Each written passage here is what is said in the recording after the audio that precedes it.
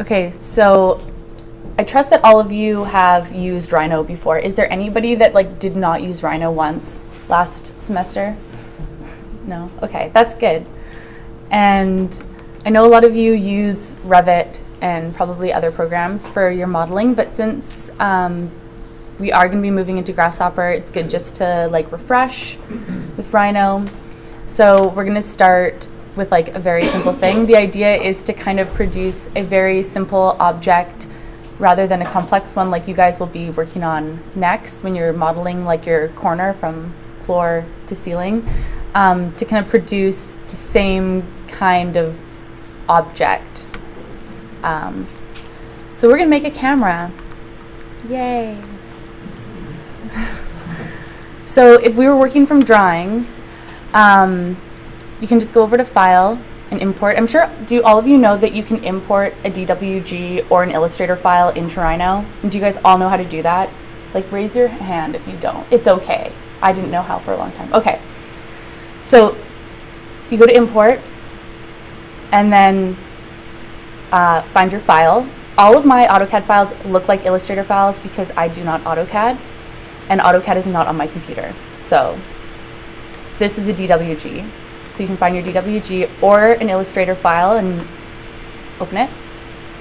And it'll ask you these questions just about like how you want to import it. Do you want the model units to be in feet or in millimeters? So you'd probably want to put them um, into millimeters. That would depend on how you set up your file to begin with. So um, for your corners, since you're all working in Imperial, when you first open Rhino, you'll want to make sure your units are in Imperial, and then your drawings that you import from AutoCAD also are in Imperial. So you press OK, and here it is. It's really tiny. Um, but I blew it up so that it's easier for you guys to look at. You can just show us. Yeah, so if you just hold shift and um, do this, that's scaling uniform, or you can do scale 1D, so that's just in one dimension. And if you click here, what? To- Oh yeah, two. That's right. Um, so scale 2D. I don't know if you guys, have you guys used scale 2D? Yeah. Okay. Scale 2D is actually pretty sweet. You can do a lot of different manipulations to things in Rhino with scale 2D. So now it's it's keeping it uniform, but I could by using scale 2D, I could like scale it up very accurately if I made like a tiny little perfect one millimeter by one millimeter box or and scale it to things. Um, so there, they're scaled 2D. And um, your files will automatically import with all of their layers, so that is really handy. So one of the big things with this um, assignment is going to be like your layer management because when you start exploding the objects, um, things can get really messy and you'll want to select certain things and not others and be able to drag them back and forth so that you can get everything in a good view. And um, if you are anything like me, like I'm a messy rhinoer, I model everything on the same layer and then at the end I kind of panic and start like throwing things around and trying to make layers out of things. Um, it's really not a good way to do things. It makes it really stressful when you're actually trying to like get your information out. Okay, so I trust that everybody that's following along has their camera brought in. So on your drawings you're going to have measurements, but on this one we don't. But a way to get measurements, you can use the distance tool or if you go into drafting, so this is the standard view that you guys are probably used to seeing. Um, if you go into drafting, you can um, click on doo -doo -doo, linear dimension and you can actually dimension things and annotate things in Rhino. See? And you can change your dim styles in Rhino as well. I just use them for um, building, not really for annotation. Okay, so the first thing we are going to do is um, I kind of just copied this drawing up here to not ruin the original drawing. So That's one thing you'll want to make sure of when you import your drawings. Don't just like start building off of them right away. Like keep a copy because if you delete something accidentally, that would suck. Okay, so the first thing I'm going to do is I'm just going to figure out how tall this camera is. And then I would just select this guy. I'll hide that.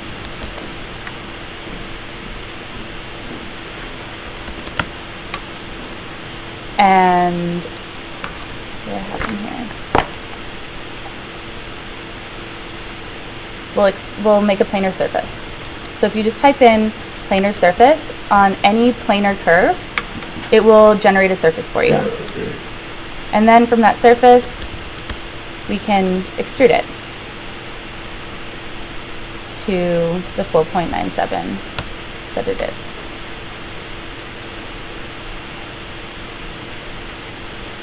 Okay.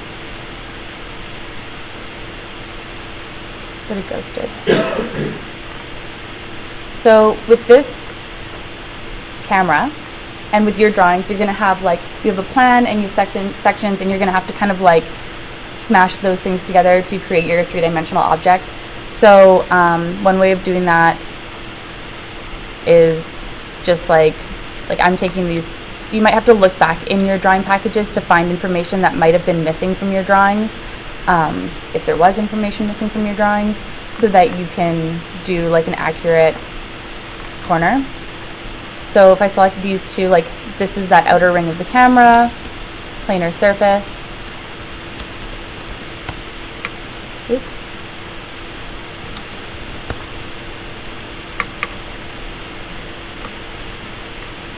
And then I can find out how long that is right here. Okay.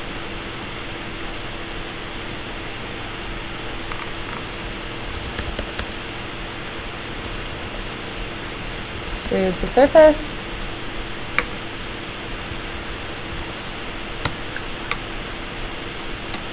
And then we'll want to do the same thing with the other guy.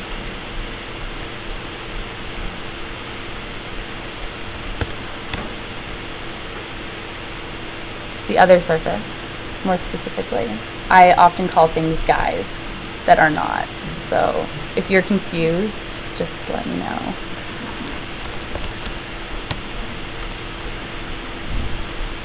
Okay, um, so there's our lens. It's very simple.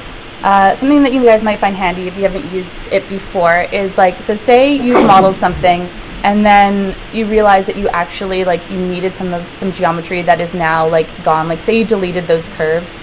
Um, dupe edge is like a really handy command. You can select like any edge of a poly or NURB and it'll give it to you. So now I have like a curve here on top of having my poly surface.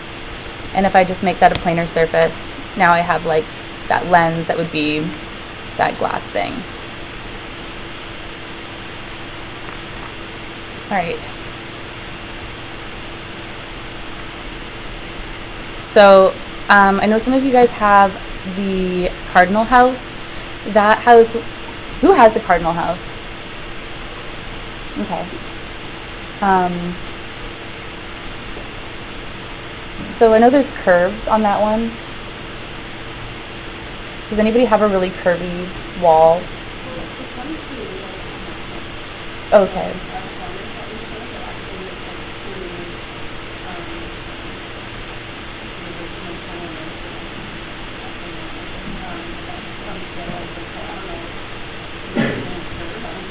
No, you don't have any curves.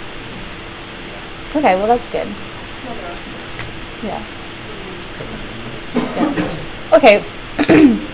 Anyways, um, say you did have a curve. There's like a lot of different ways to build them. Um, and I'm sure like you guys have gone over all this stuff in Graphics One, and you have gone through Studio, so you would have had to figure some of this stuff out. But uh, so you can build curves by using circles and trimming them. You can build them with sweeping or lofting, or you can build them with like arraying. So like in this case, I'll show you guys how to make this button by arraying. So what I did is I just took the profile and then this is the height, obviously. So if you just flip it up, move it to its intersection. Pardon me? Yep, I just rotated it. Um, now we can polar array or array polar. And you just select the center of your polar rotation. It prompts you, as usual. The number of items that you want to array. So, like on the last one, I had done six over here. If you wanted to be really smooth, you would just add more contours and then you would lose like the facets that are in there. So if I did 10 this time, um,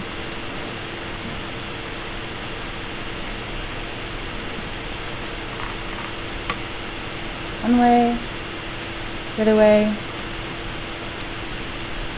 So now we've arrayed that little profile and we can just select all of them and tell it to loft.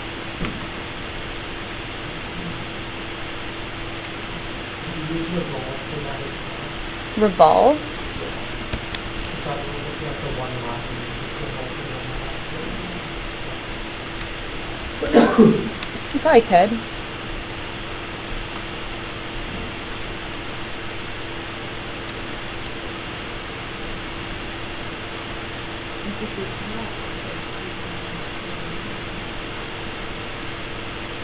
Yeah, you could.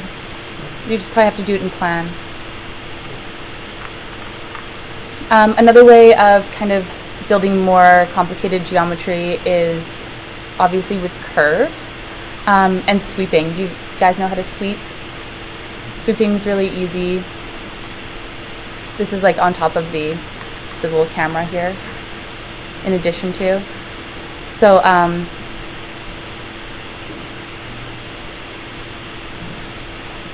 you have a profile curve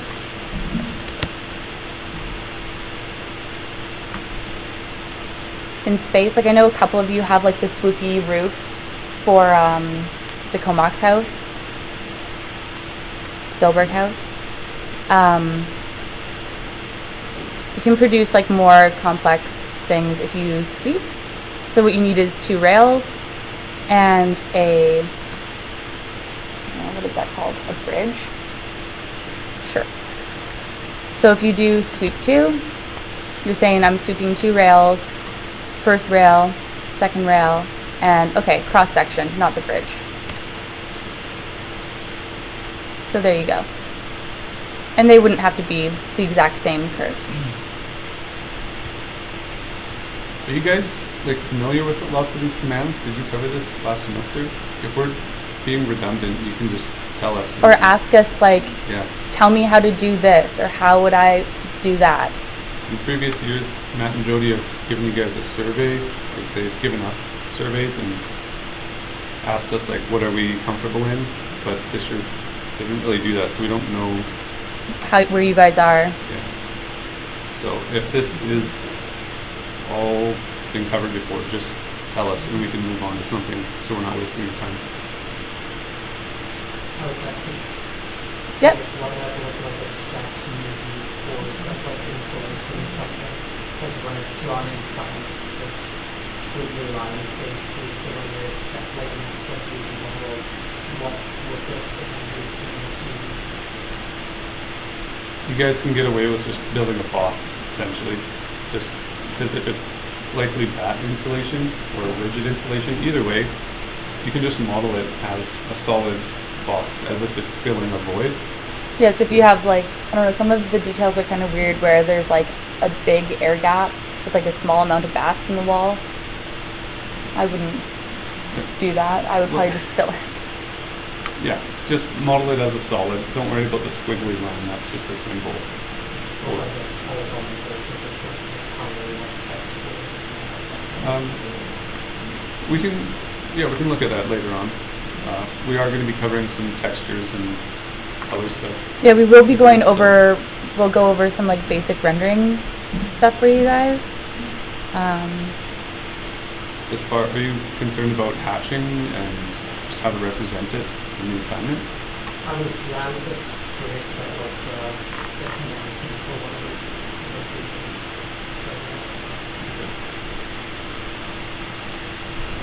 what Any other questions? Okay, so I just quickly flipped uh, my little lens there, and I'm just gonna make the frame. So the same idea.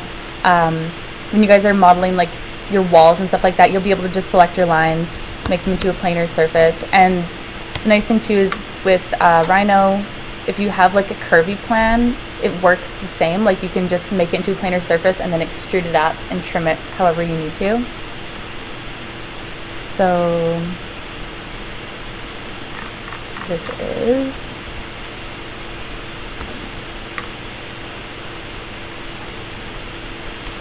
point three three.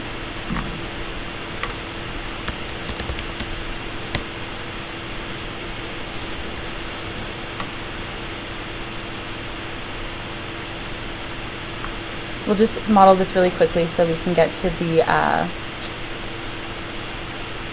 the AXO stuff. How many of you have you? Did you guys all have to make exploded AXOs last year in graphics?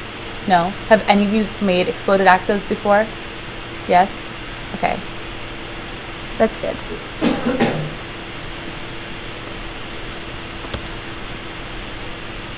All right. So we pretty much have our camera. We just have to like add a couple of little things.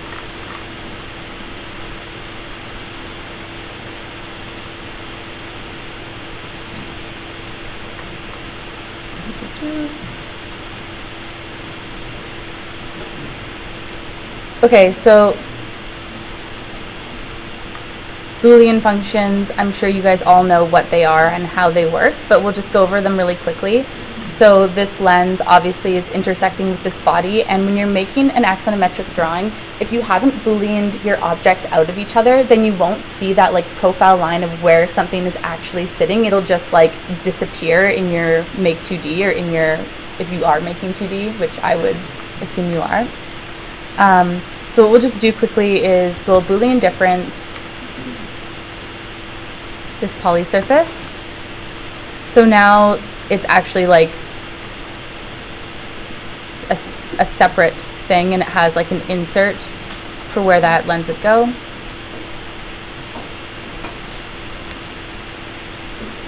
And we'll do the same thing with this.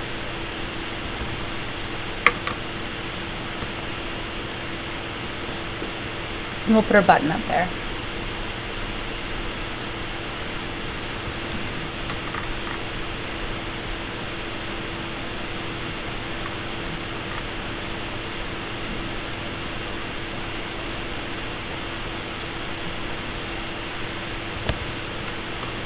Is.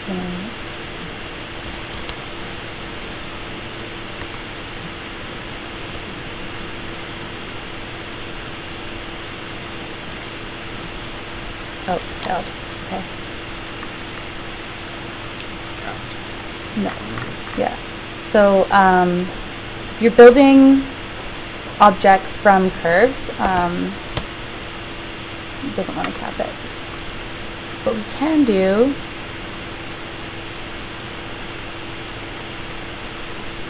let's see. Usually you can, if you boolean different something or you boolean split something, and your object is no longer a NURB, you can just cap it. If you type in, you select like your entire object, whether you're working on studio or graphics or anything, you can select like your entire thing and just press cap and it'll cap all of your open edges. Unless they are like non-planar or like overly complicated, like this is not overly complicated, but it's a number of facets, and so it doesn't want to cap because it's not understanding all of the little faces, like all of the little edges at the bottom. So like we have this open poly. So the way that we would deal with this is um, be really annoying. We could loft between a whole bunch, but you can see what it wants to do is like select each edge. So I would suggest like duplicating the edges, which is annoying. We'll have to select all of them, but once they're selected, we'll be able to join them all together and make a planar surface and join it with the rest of the poly. Okay, so we have all those edges. You can join all of those curves together. So now it is, oops, just a closed curve. And we can just say make it into a planar surface. And now we can just join it with this guy. So now it's a closed thing. And we'll just move it back.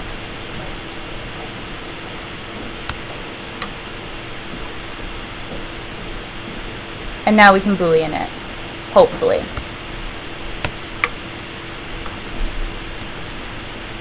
No, we can't. Maybe we can split it.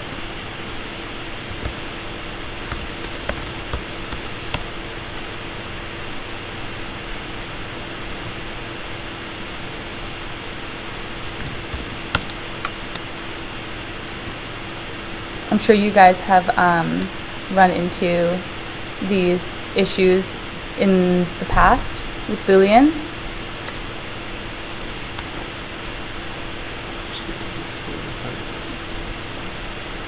Just explode it?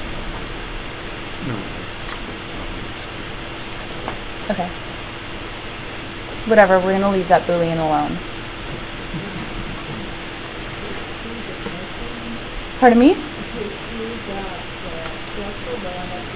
Yeah, we could we could do it then. Yeah, we could do it then. If we took this this planar, this little edge around the bottom that we, we made that planar surface at the bottom, if we just took that edge and we extruded that, then it would work. But it doesn't want, it, Booleans don't usually like to Boolean with polys. They usually just like to be like a NURB, like a solid thing. Okay, so we have our camera.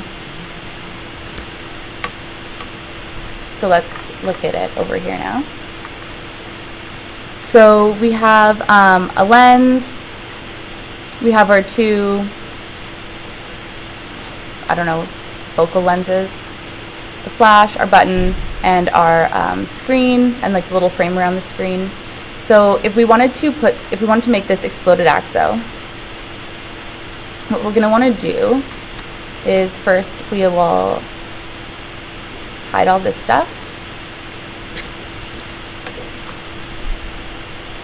Move this guy somewhere we can see him really good. And we have to work in isometric. So what we would do is we go into perspective.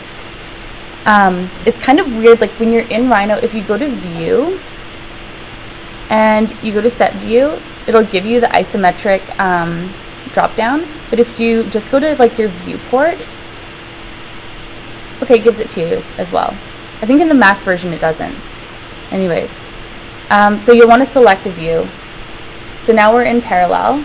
So this is southwest. If you have a lot of things on your page and you go into isometric and you're worried about like screwing up like your view and now like the parallel thing looks weird, you just select your object and do ZSA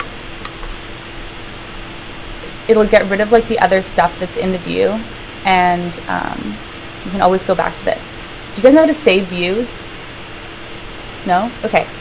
So if you want to save a view, say you found a view of like in inside your building for studio or of this project and you're super happy with it and uh, or even I find it really helpful when you are rendering things to like kind of just like investigate your building or look at everything and save a bunch of views that you think are cool and then you can go back into them and like look at them and decide like which ones you actually want to do.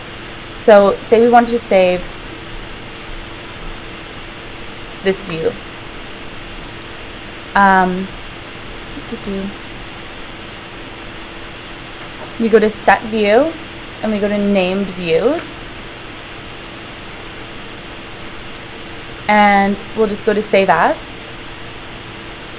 So it's saying save current viewport setting, and then you can just name it as whatever you want. So you could say like, oh, this is going to be our render one, or like my AXO view. Okay. So that's saved.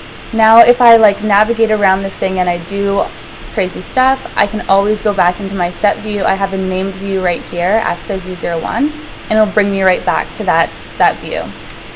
So it's kind of like a helpful thing if um, you're rendering something or you're trying to diagram something and you just like shifted this the tiniest little bit and now things don't line up. Like, don't know if you guys have like rendered and made make 2Ds and then you try to overlay the make 2D, but you like moved your camera just like the slightest bit and so now everything is off and you can't get back to it. It's so frustrating. Um, so now you don't have to worry about that. So set view, axo view. So um, for thank you. For this project, you guys probably can just stick with um, one of the isometric views, whichever one you want.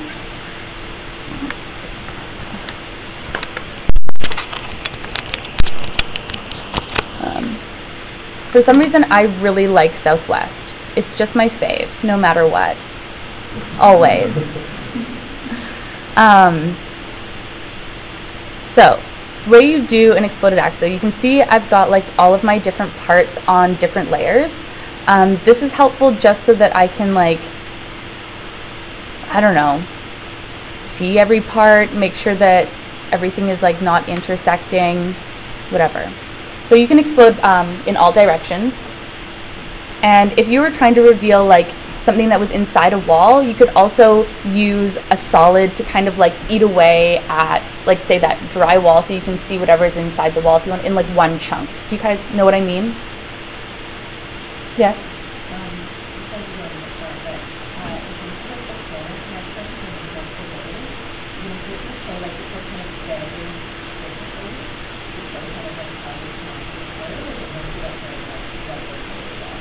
Showing like what those layers are and how like the assembly would like smash together.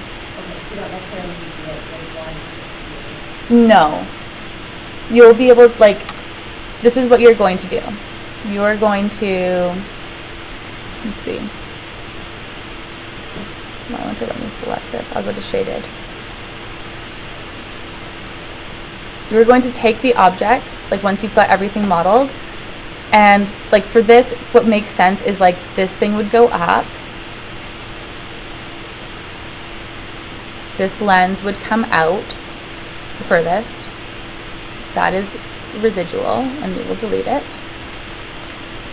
This lens would come out next. Your button would go up.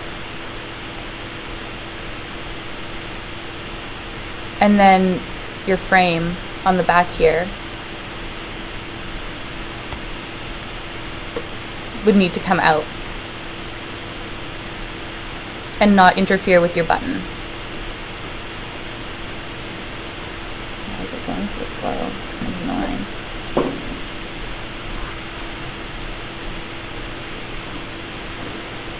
Okay.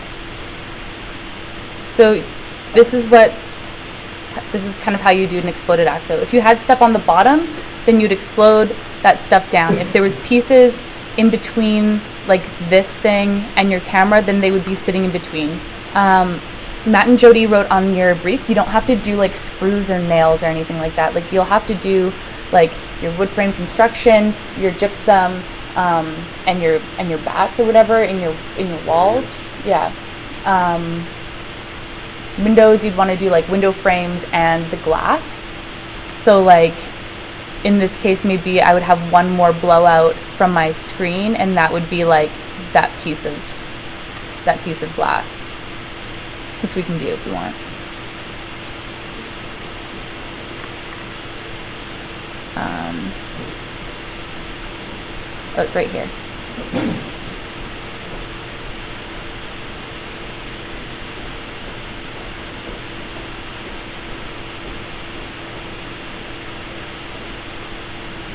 Right? So, okay, are you guys all familiar with um, making 2D in Rhino?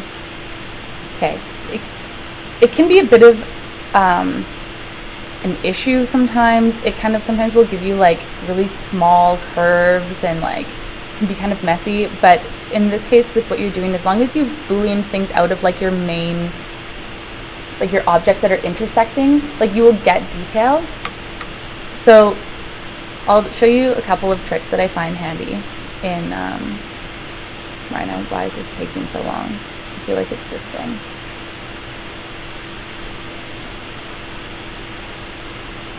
Okay, we're gonna make 2D. So this is really handy to have everything on its own layer so that when you make 2D, you can select things on the different layers in Illustrator.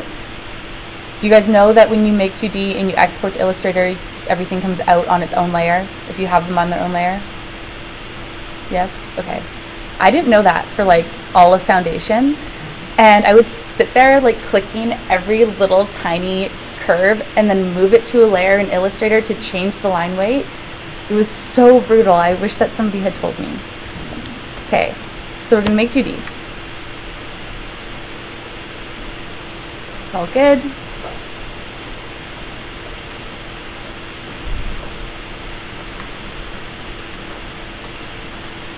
All right. So a quick trick in um, making an axo. You guys have looked at axos, and I know Matt and Jody are going to put some examples up on the D2L, I think. Um, all axos have like an outside line that is heavier than all of the inside detail lines, meaning that anything that is touching air is heavier. Is this one example? No? So a really easy way of doing that in Rhino is if you have everything selected and you hatch it, go by boundary, and if you actually click outside of your boundary, it will hatch everything. And this seems like a weird thing to do, but now if I go SelHatch, and I move this onto its own layer, let's just make it white or gray.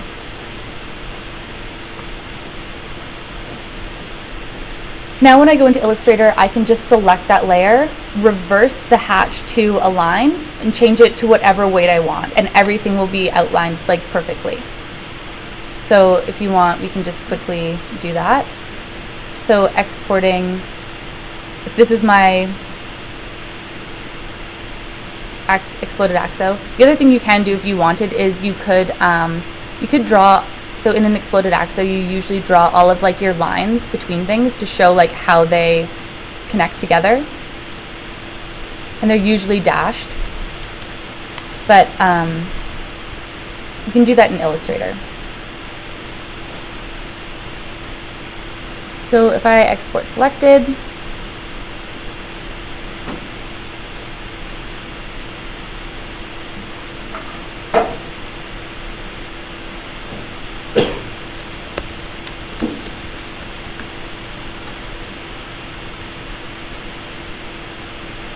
Um,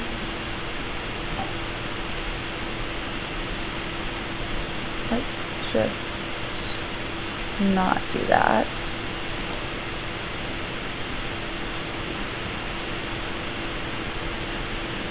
We'll just scale it in Illustrator because it doesn't matter.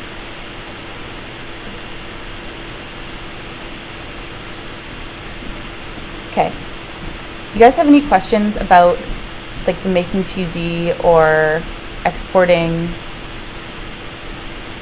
anything like that?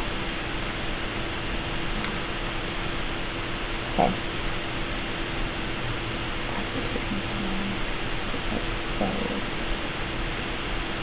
Slow. So um, the next thing that we could probably do is if you just go back a whole bunch of times, you could set up like a basic um, render file. Are you guys all pretty comfortable in V-Ray and like doing basic rendering? No? Okay. So um, if we go to V-Ray and we go to options, sorry, I'm gonna just turn, I'm just gonna delete this so that we can start from scratch. Okay, so um, sending up like a basic render file, like it for sure can be tricky, um, especially if you've never used like a manual camera before. If you know how a manual camera works, like V-Ray is exactly the same. So if you go into your options, um, you have camera, like the important ones. I'm sure that they went over this with you guys, but I'll just tell you anyways. Um, to me, the really important ones are the camera, the environment, the FVFB channels, the output, indirect illumination, um, and that's pretty much it. There's like not that many. So I usually go to my environment first, and um, yours will probably, if you have the default settings, it'll this M right here will just be gray. So if you click on it, what you want to set this little drop down to is TexSky, and that's just telling um, your Rhino that like there is a sky in the world. So let's use it. At least that's what I think in my mind. Um, when you go to the VFB channels, this is um, important if you want to do like a lot of photoshopping. So I always have it on RGB color. All you have to do is like click on them. RGB color, alpha, and um, these are only really useful if you're exporting as JPEGs. If you're exporting as PNGs, so that you can like do other stuff. Um, so if you're exporting as a JPEG and you want to do some crazy stuff, choose Z depth and choose background. Actually, don't do that. We'd have to show you how to use HDRIs to do that. Do does anybody know how to use HDRIs yet? No? Okay, we'll save that for another tutorial. Um, output. So, you know, you can type in whatever you want or select one of these, but what you really want to make sure you do is um, select the, like the viewport ratio. So if I select the 600 or 800 by 600 and I get view aspect, you can see that like the view is actually a little bit different. Um, and I just always lock that so that like you know sometimes when you're rendering and like it is not what you're seeing on your screen. I'm sure you got I'm sure some of you've run into that. And it's just because you don't have the view aspect. Okay, and then um, indirect illumination, I'm sure you all know, turn on your ambient occlusion.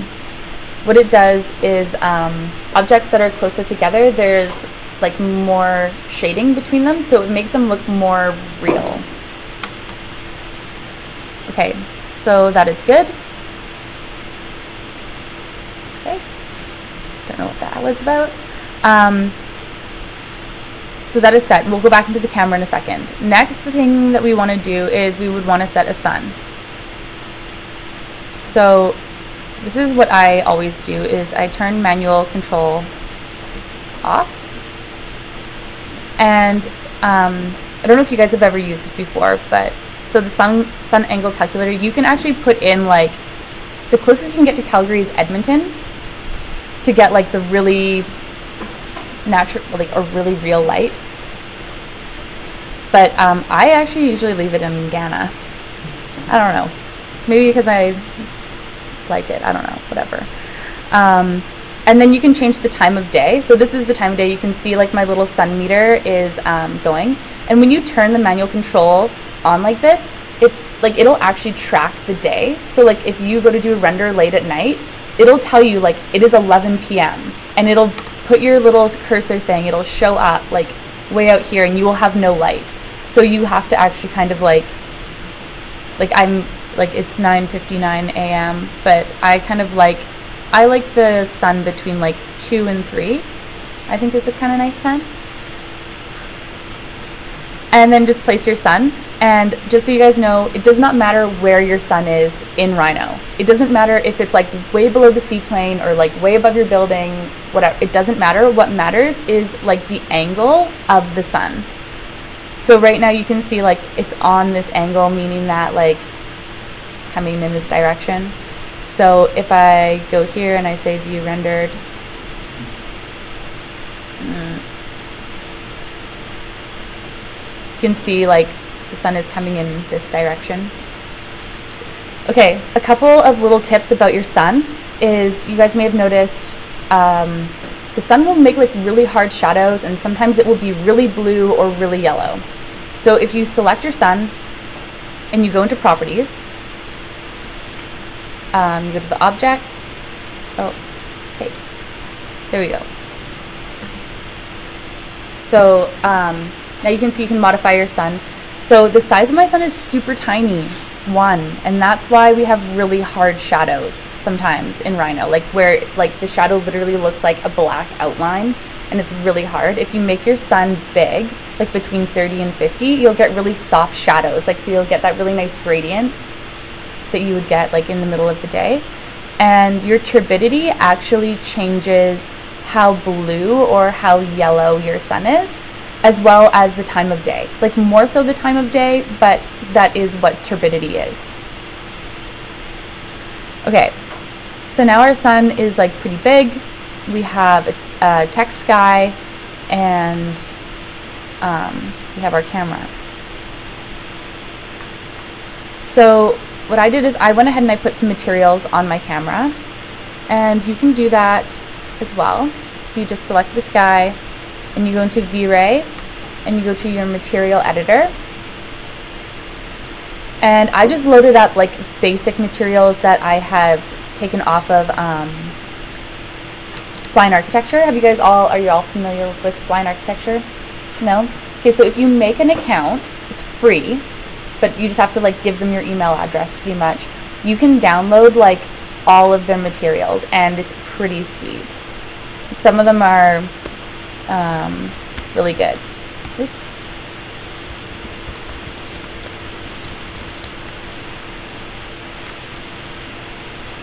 So obviously I just go to materials, that's all I go to. Um, every once in a while they also have like free HDRIs. Um, if you don't know what an HDRI is or you don't know how to use it yet, just so you know, they will come in very handy. And if you find free ones, you should get them. Um, so you can see here, like these are materials that cost money, but you can, if you have an account, you can download most of them free. They used to all be free. Like when we were in foundation, they were all free. So these are materials, and you can download them. And then you can edit them as well. So like this one, it was a blue porcelain, and I just changed it to black. So the way that you bring in a material, I can just delete all these really quickly. Do you guys want me to do this? Do you want me to do like bringing in materials and mapping them? Okay. We will just remove these.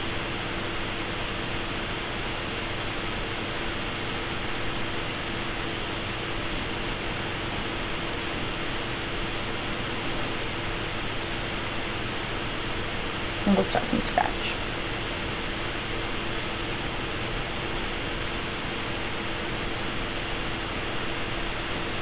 Okay. So you can see I have just like my plain camera basic materials. So when you're applying materials, you can apply materials by layer or by selection. So you can see how having like your layers organized would be really useful. You can say like everything that is wood, I can select by the layer and apply the material to that entire layer instead of having to like sit there and select like every little piece of like whatever. Same with anything. So um, I'm just gonna go shaded quickly so I can see my layers. Okay, so my camera. Just select this object. Um, I usually apply things by selection, uh, but you shouldn't. Um, so if you go to, well, we can do it by layer, okay. If we go to V-Ray, and we go to our material editor, this is what pops up. And there's nothing there because we haven't loaded or created any materials.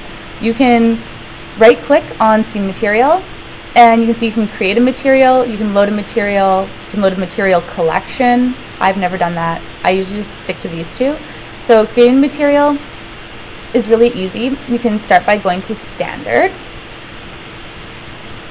And if you click on preview, you'll see it is like the default material. To the right, we have like a whole bunch of different um, kind of effects that we can apply on this material. So like the color, the transparency. Um, does, does everybody have like V-Ray materials downloaded like from stuff or is there people that like do not have any V-Ray materials? Okay, so we'll just make a material really quickly and then we'll load some. Um, so if you double click on color, you can choose a color from any of these or you can just make your own color by simply twisting this guy around and then moving your little eyedropper guy around. But in this case, I'm going to make our camera, so I'm going to make it black. So if I go preview, now you can see my material is black. And um, for the transparency, let's just see. Sometimes I forget what this does. Yeah, so it makes it more transparent. We don't want that. We do want it to be shiny.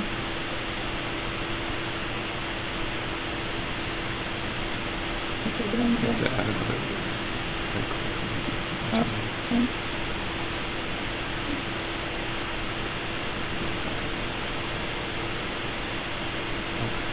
Oh, it doesn't let me do it.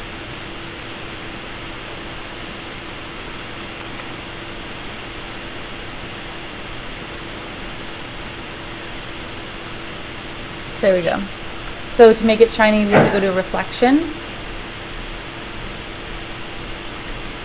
it the same reflection that we had in the window? Pardon me? There is something reflection in that before we open this window?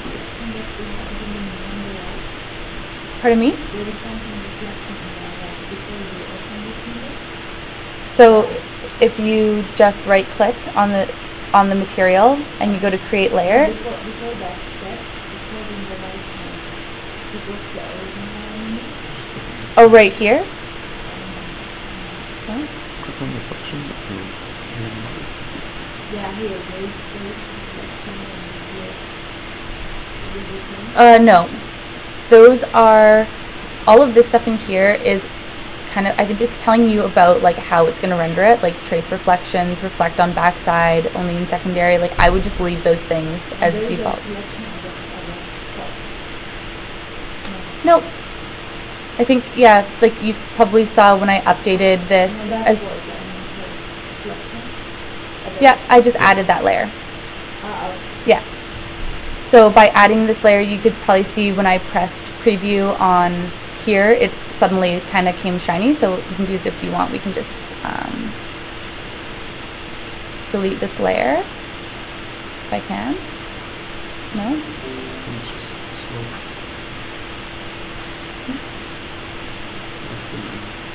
So if I remove the layer,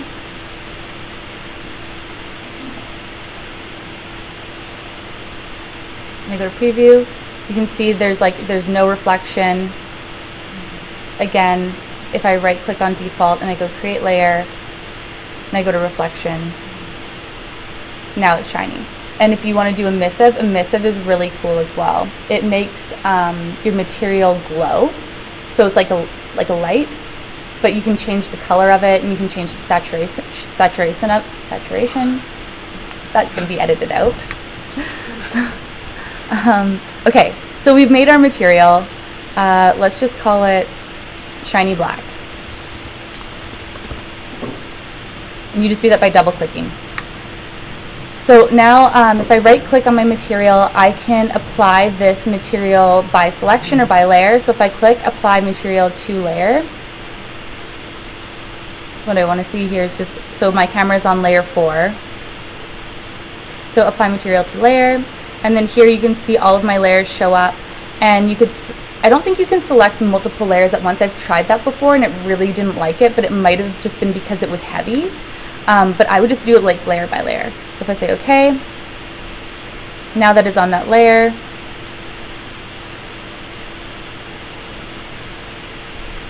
rendered, there it is.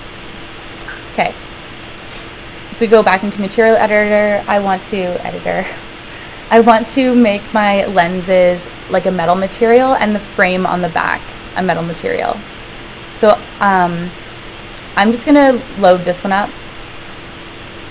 So if I right click and I go to load material, this is my material library. They're all Vismats. And I'm just gonna choose this metal nickel hairline. So that pops up in here. Yes? Those files just download from the site and say like anywhere in the computer, or is there like a specific part that you would like? No, you don't. You yeah, like when you go to load them up, like for the first time, it'll like basically ask you to browse, and then from then on, it's like I just made a folder called like my V-Ray materials or whatever. It just always loads up into that same folder. Like it knows where to go after the first time. Yeah, Try and dump all your materials into the same folder, just so it's easy. yeah, Just so you don't have to be like embedded environment. Yeah, no, no, it, it's fine. yeah. You're all good. It can be in your downloads or wherever. So um, here you can see my material. Again, I can um, apply the material by selection or by layer. I'm just going to apply this one by selection. So if I just select this guy and this guy and this one, and I go back into my material editor, I can just right click and say apply material. Oops, I did layer. Apply my material to the selection.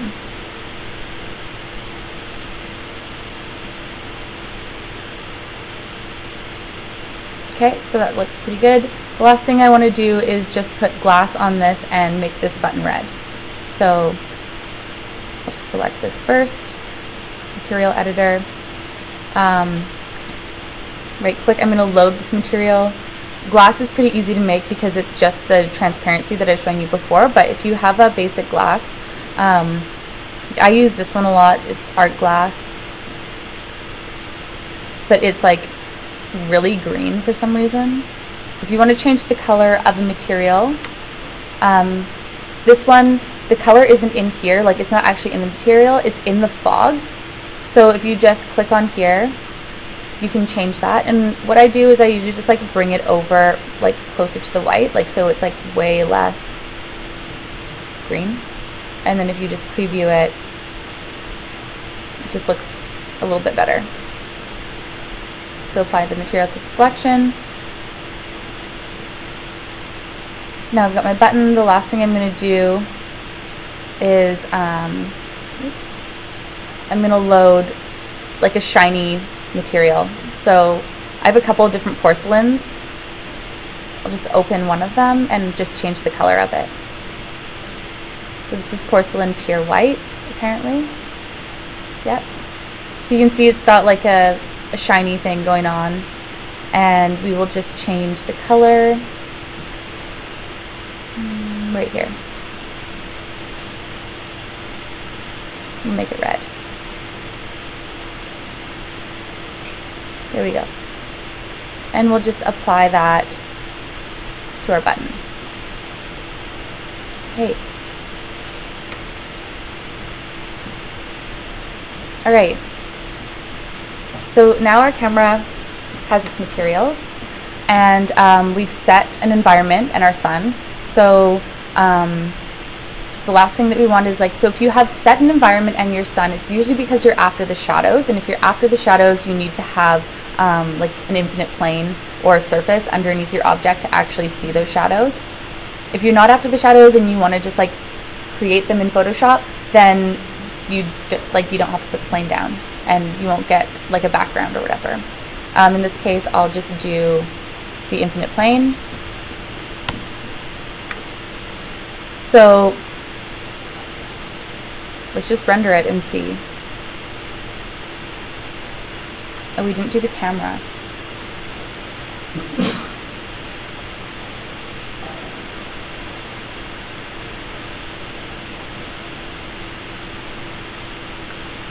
So I played with my camera settings last night, so uh, we can just quickly go over those.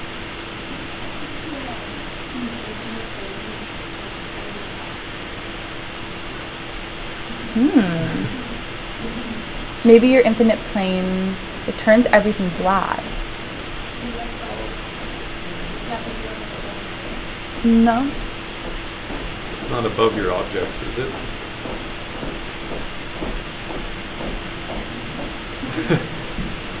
Is it?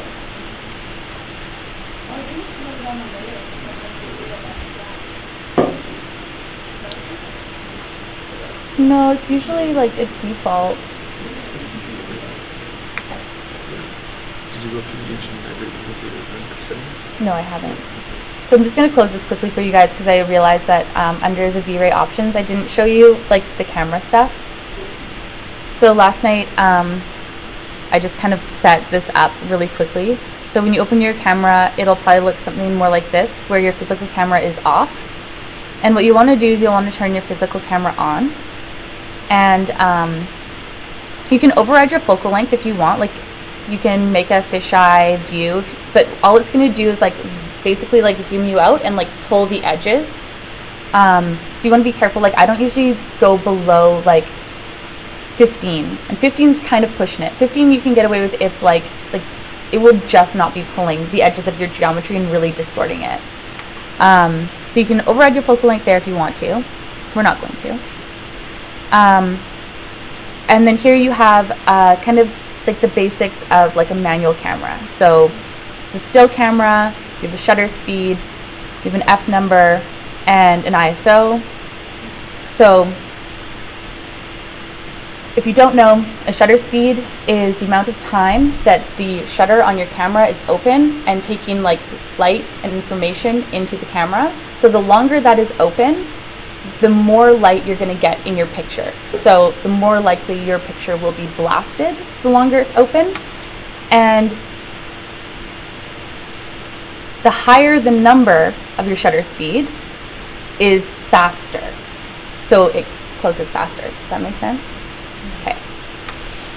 Um, so if I change this down to 125, then I would get a brighter image than at 600 because 600 is faster. Yes. Uh, I'd say like usually between like a thousand and like 80. Something important to note here, when you guys are rendering, if your image isn't coming out the way you want it to, don't go in and change like three different things. Just change one. you won't know what's wrong if you're changing like six variables at a time. If you just change one thing, if it gets better or worse, then you know whether you're changing it in the right direction or the wrong direction. That okay? So, and it takes longer, but Okay, before in the long. Yeah. Before I tell you, or we talk about the F number, we'll just talk about film speed because it seems like people get really confused with ISO. And a basic principle to ISO is like the darker it is, the higher the ISO, the lighter it is, the lower the ISO. So if you're taking a picture outside um, or outside of your building, um, you will probably want to have a lower ISO if you are taking or do, taking renders inside of your building, you are probably going to want to have a higher ISO. And when I say a higher ISO, I mean like like up to 3000. Um, so generally like if you were shooting a camera during the day outside, your ISO would probably be between like 100 and 400. So those are kind of like safe areas to be for your film speed. And if you're inside, you're usually looking at between like I don't know, 800 and like 1650 and then depending on like how dark the space is, higher. And then uh, the F number obviously is pretty straightforward. The lower it is, the brighter your image will be, the higher it is, the darker it will be, and it can be used just to balance both the film speed and the shutter speed. Um, in V-Ray, for some reason, I find the F number is like very, very finicky. I will often like leave it, or I will only go like down by like two stops. So like, like five, like as low as five point six.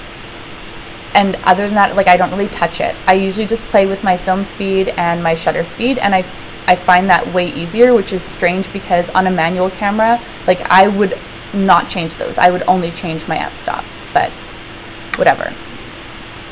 So um, here I put in 600 into our shutter speed. F number is 8 and our film speed is 100 because we are like outside of our object and we've set up an environment. So did you figure out your infinite plane? Yeah. So if you render your camera or any object that you have um, been modeling or whatever, it should look somewhat like this.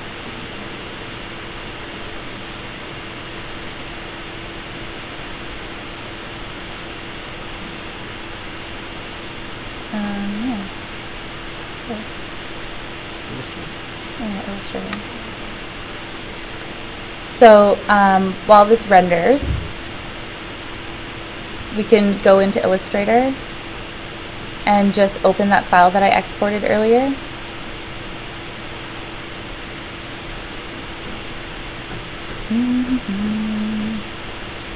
So it's called Camera Axo.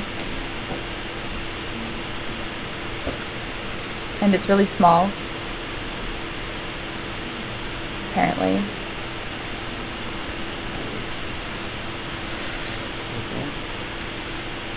I don't even know where it is. hate Oh, here it is. It's not really small. It's just to the side.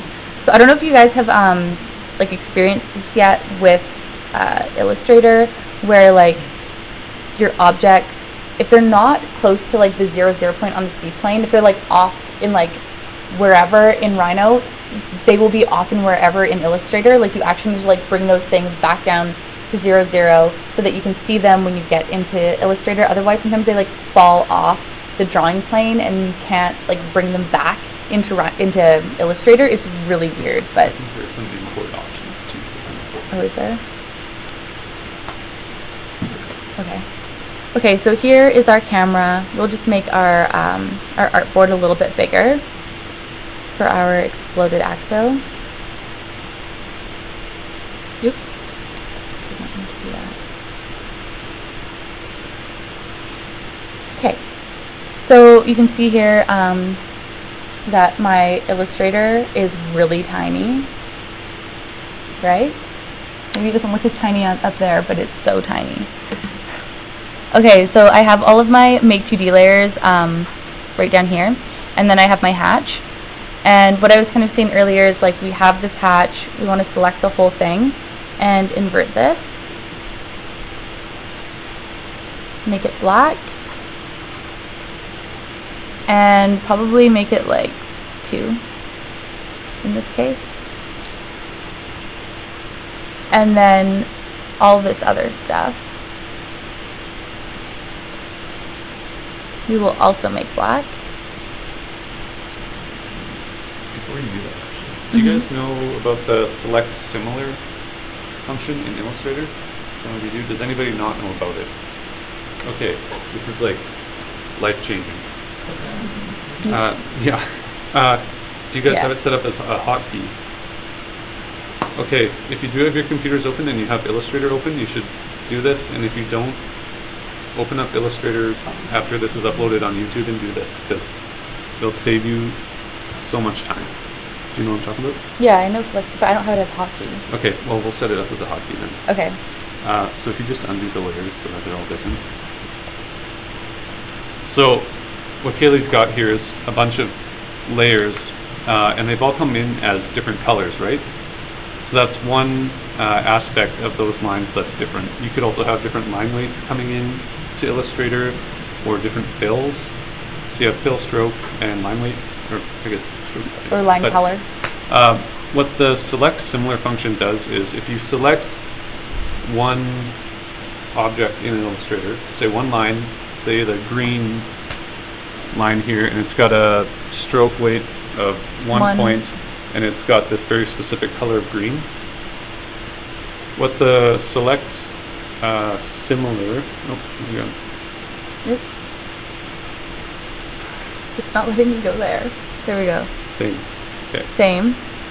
Uh, so what you can do is select everything that is the same fill color, fill and stroke, uh, stroke color, opacity. You got all these options here. What you're gonna probably want is, I think I have fill and stroke Yeah. set up.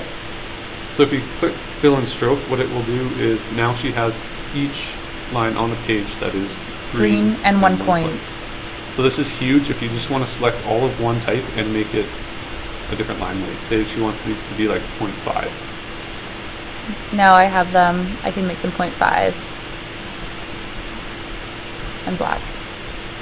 Okay, but so if you want to set up a hotkey for this, uh, if you just go up into file, edit.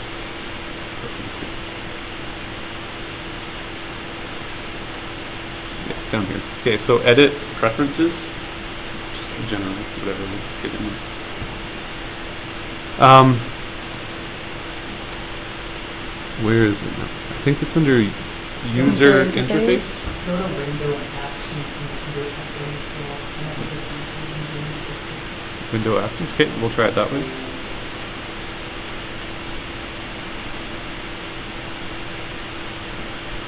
Whoa, this is weird.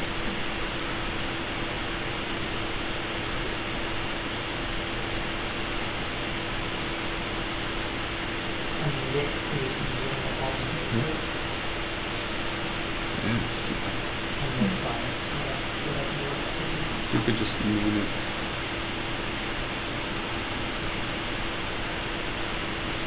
Okay, so you have a limited option here for. Yeah, you can set it, set to like shift F. Okay. So, I mean, choose whichever one you want, I guess, for this case. If you do it this way, I guess you'll have a function key. Um, if you do go into the preferences and change it that way, you can set it to any key you want. It's uh, like mine is uh, control function S, I believe, or yeah, control function S. Uh, and that it's way, weird that you would record it as an action. if it works, it works. Yeah. Anyways, you should you should do this because it will save you a ton of time over the next two and a half years. Um, so this is one way. Do you guys want to see the other way as well, or? Okay. Okay, so I guess you record it.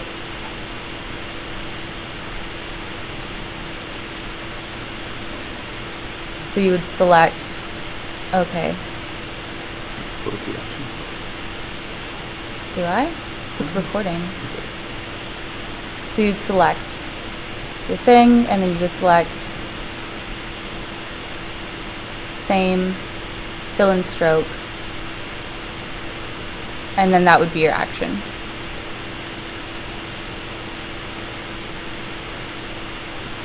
So now we have mm, action one, and that's what it would do.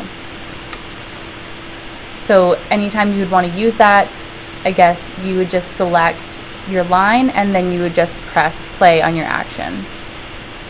Is it set to the Yes, F? it's set to the, So now I have all of those lines. Or if I if it was a different what? You set it to F one. Oh, I said it shift F1, right. So if I did this shift F4. Yeah. Okay. So that's one way you can do it. Actions actions exist in Photoshop Drop as and well. yeah. Is it different one there? That looks different. Layers. That one. Yeah, this is um, an actions bar. So you can record like a series of procedures that you want to have at hand that you use a, like very often.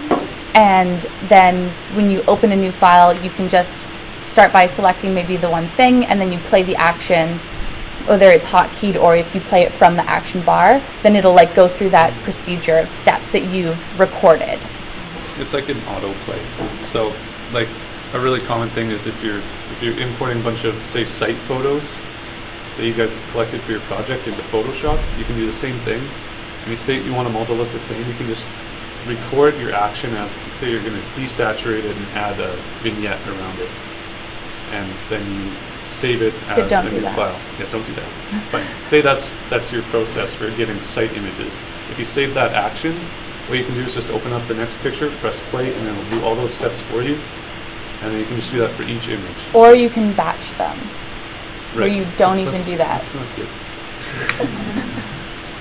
Anyways, that's What then if you click, only select the object and click on the action? Yeah, so we just recorded that action and we set, um, I set Shift F4 as the hotkey for that action. So anytime I select like one line, say I'm like, I just want to select all those red lines and they're so tiny and I can't see them, I can just now press Shift F4 and now all of those red lines, yeah. okay. So we'll we'll show you how to do it in the preferences now too, if we can remember how. So it was edit, Because you only do it once, so it's kind of hard to remember. Preferences. User interface. Sure, let's try that one.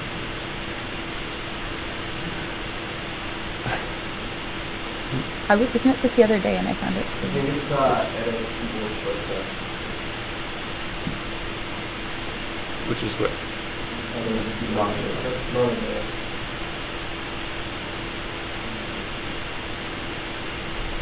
Oh, yeah, more over. I'm moving my mouse, I swear. I don't know what's going on. The render is Oh. bogging me down. Yeah, it is. Okay, so here's what our render looks like. Does everybody's render look kind of like that? Everybody that followed along? We'll go back to the, the Illustrator in just one second. I just want to close this so that my computer stops like dying. Did anybody have trouble with rendering? People that tried it, or did you find it like fairly easy? Yeah. Um, just wondering, what was that you just put in the sun, like the air, and the boat, I thought you put like lights and, um, lights and Mm-hmm. things. Um, did you use those as well? or just- I only use um, like point lights and lights like in like a building. Um, and I probably, well, it depends. Like, It's faster in Photoshop. yeah, it's a lot faster in Photoshop just to like, if you're outside of the building, to just like select that window or whatever and brighten it. Or if you're inside, to just brighten it, like get like a like a medium good render and then just manipulate it in in Photoshop because lights um, they really bog your Rhino down. Like it's a lot of information for it to process, and it can be like they can look really awesome. It just like- takes forever. it takes forever, and because of like the ray casting and everything off of all of your materials, it'll like, yeah, it just can be a nightmare. We can, like, if you want help with it at one point, feel free to ask us. We can Yeah, we've- that one on one. But we have jumped off that diving board before. Um, okay. Any other questions um, about rendering? So if you wanted to save just this one, you would click this save one. Um, say on your VFB channels, like I showed you earlier, where you have like the alpha, the background, the Z-depth, like all that stuff. Um, you'd click on save all images right here. And um, you would probably you'd want to set those things to uh, JPEGs, but generally speaking, you'd probably just set this as um, a PNG and just save like the one image. Will it render the planar transparent? For this, no, you would have to not have the plane. Yeah. So, um, like what I'll usually do is uh, just select everything. Like this would be very easy to select in Photoshop, and I would just make this black and white, like the ground back black and white. Yeah. Or like you can just delete everything around that shadow and then like move the shadow onto its own layer and play with it. But yeah. Okay.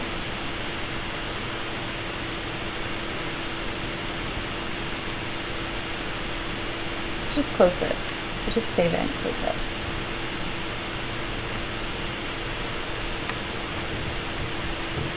Okay, later. So now we are in Illustrator. What were we doing? We're going to edit. keyboard shortcuts.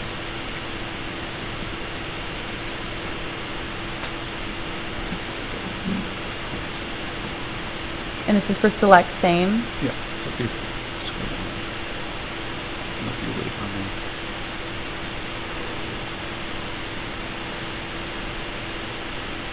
You notice not working? I don't know. I didn't change them. Click on the, Or search? no, oh yeah, just do search. Select. Or is it same? Selections B. No. I think you're the tweets, it might be. No.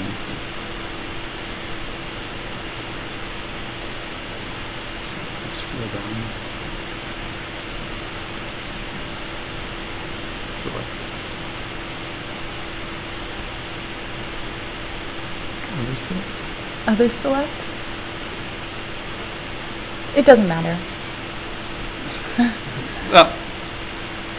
We showed you one way. Well, he showed us one well. I'll set up another video of this all on its own and upload it to YouTube later, just so we don't waste time. But Just, I think whenever I have a best selection. Yeah. you say to do that. there will be a YouTube video for that, and please do it.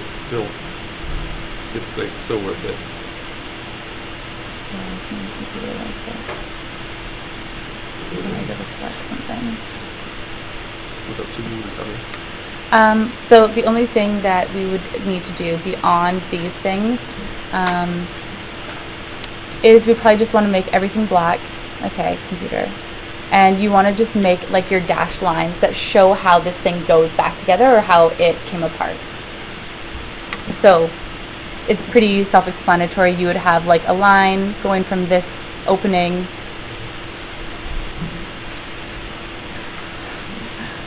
to this lens and then uh, this lens to this one and they would be dashed and they would be very light line weight. And then the same thing you would have lines coming down here to show that that's how it came together. And then this would have lines coming back onto your camera. And then same with this. And then you would want to annotate that. So on your drawings i don't know what is going on with this but um, on your drawings like you're gonna have these corners that are gonna have like a lot of different parts.